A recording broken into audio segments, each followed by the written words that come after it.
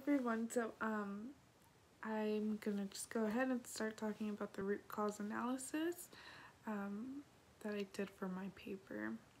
Um, so my name is Rachel Oliver and um, we're just gonna go ahead and further discuss the case study.